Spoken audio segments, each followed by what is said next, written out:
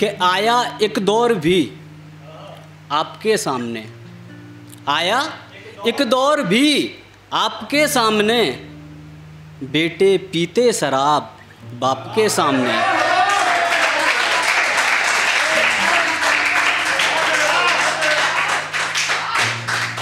आया एक दौर भी आपके सामने। बेटे पीते शराब बाप के सामने। और पैदा एक ही घर में पैदा दो दुश्मन हुए। भाई भाई है अब आमने सामने। किसी से लड़ने कोई नहीं जाता, भाई भाई आपस में लड़ते हैं, इस पर लिखा है कि भाई भाई है अब आमने सामने और मॉडलिंग है जमाना या मॉडल हैं सब। मॉडलिंग है जमाना या मॉडल हैं सब। बेटियाँ बेअदब, बाप के सामने। यूँ तो रिश्तों के भी अब ड्रामा हुए। यूँ तो रिश्तों के भी अब ड्रामा हुए। पैदा घर घर में अब कंस मामा हुए।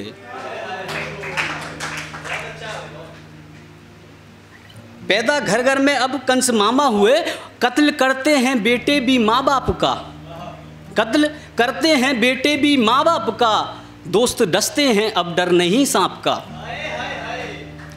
दोस्त डसते हैं अब, डर नहीं सांप का, एक का एक से काम चलता नहीं, दूसरा भी तो दिल से निकलता नहीं।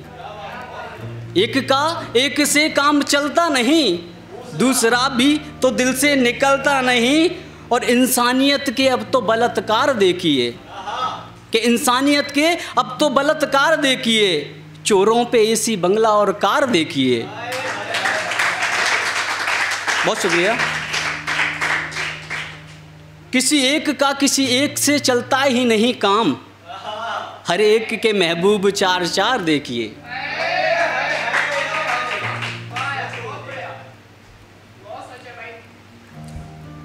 हर एक के महबूब चार चार देखिए और हैं घर के गेट बंद बंद घर की खिड़कियाँ।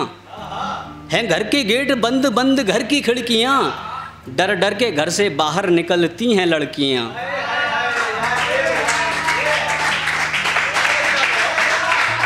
डर डर डर के घर से बाहर निकलती हैं लड़कियाँ और खाते हैं घूस जेब और भरते हैं पेटियाँ। इंसाफ के लिए तो भटकती हैं बेटियाँ। इंसाफ के लिए तो भटकती हैं बेटियाँ। निर्दोष थी जो मारी गई निर्भया आशिपा। निर्दोष थी, मारी गई निर्भया आशिपा। ये सोच कर आज भी रोती हैं बेटियाँ। बहुत शुक्रिया बहुत शुक्रिया। बहुत शुक्रिया। एक कहानी थी और ये सच पे आधारित है कहानी। वो आपके सामने मैं पेश कर रहा हूँ। और ध्यान से सुना, ये कहानी आपको कहीं ना कहीं अटैच करेगी, कहीं ना कहीं आपके साथ भी कुछ ऐसा हुआ हो कि एक ऐसा परिवार जो बेहद गरीब, एक ऐसा परिवार जो किसी से लड़ा नहीं, एक ऐसा परिवार जिसकी किसी से कोई दुश्मनी नहीं। लेकिन इस परिवार में सात भाई और सातों आपस में एक दूसरे के दुश्मन। सातों एक दूसरे के दुश्मन और दुश्मनी ऐसी कि एक भाई दूसरे भाई का अंडरवियर तक चुरा ले। इसमें हँसी भी लगेगी आपको। एक भाई किसी भाई के बाहर बल्ब लगाया तो उसको भी चुरा ले। और नफ़रत आपस में ऐसी कि माँ अगर किसी दूसरे भाई के साथ है तो माँ को दूसरा भाई डाहन बोले। तो ये किसी की माँ के साथ हो तो कोई अच्छा नहीं लगेगा इसे। तो इसमें सात भाइयों में जब गरीबी के हालात बहुत होते हैं तो इनमें से एक भाई उभरता है, जिसका नाम राज होता है। और राज ये ज़िंदगी में ये ठान लेता है कि मुझे बहुत कुछ करना अपने लिए और अपने परिवार के लिए। तो राज एक छोटा साइकिल का काम शुरू करता है। साइकिल का काम शुरू करता है, साइकिल का काम शुरू करते करते उसे सब्र नहीं होता, यानी कि बहुत गरीबी है और बहुत पैसा कमाना है। उसके साथ वो क्या करता है? चित्रकारी करता है। चित्रकारी में भी पैसा कमाता है, लेकिन उससे उतना पैसा नहीं मिलता। वो संगीतकारी करता है। संगीतकारी में भी इतना कुछ नहीं होता तो वो मौत के कुएँ में गाड़ी चलाता है। मौत के कुएँ में गाड़ी चलाता तो उससे भी उसे ऐसा लगता है कि अभी बहुत कम कमा रहा हूँ मैं। तो एक एक दिन वो इलेक्ट्रॉनिक का बादशाह बनता है, और जितना भी कोठी लाइन में काम होता है, इलेक्ट्रॉनिक का फुल बादशाह बनता है वो। और इतना पैसा कमाता है कि गरीबी घर की दूर हो सकती है। अचानक से उसके छोटे भाई की तबीयत ख़राब हो जाती है, जिसका नाम था ताज। ताज की तबीयत ख़राब हो जाती है तो छोटा भाई, बड़ा भाई राज क्या करता है कि वो अपना सारी दौलत अपने छोटे भाई के इलाज में लगा देता है। बड़ा भाई, ये दो भाई सबसे छोटे हैं तो बड़ा भाई राज अपने छोटे भाई की बीमारी में सारा पैसा लगा देता है।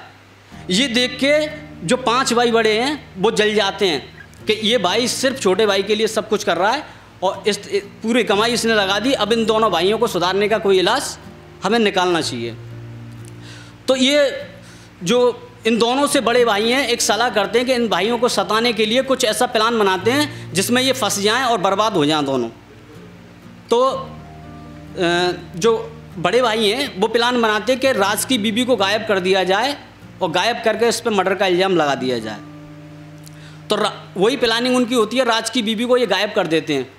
जब राज की बीवी को गायब कर देते हैं तो राज के पीछे बहुत समस्या आ जाती हैं और वो बर्बादी के कगार पर खड़े हो जाते हैं दोनों भाई। दोनों भाइयों पे इल्ज़ाम होता है।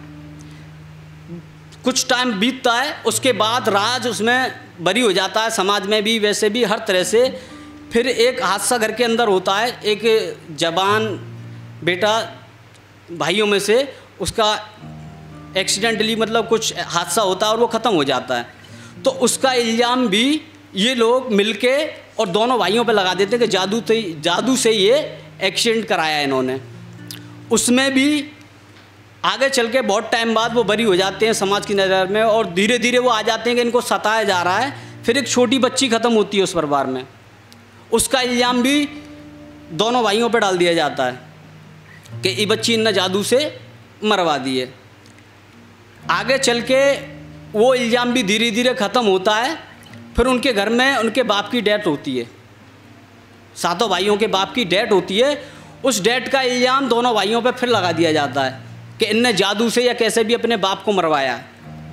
और उनके पीछे इतनी समस्या आ जाती हैं कि वो घर से निकलने के लिए मजबूर हो जाते हैं, परेशान हो जाते हैं और फिर समाज में जाते हैं। समाज से कहते हैं कि भाई हमारे लिए इंसाफ करो।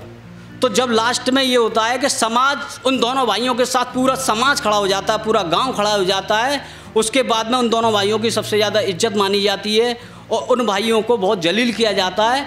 और आपसे गुजारिश है कि आप भी दुआ करें कि ऐसी कहानी कोई आए तो उनके बारे में जो लोग अपना ईमान खो चुके हैं, उनके लिए दुआएँ करें। बस थैंक यू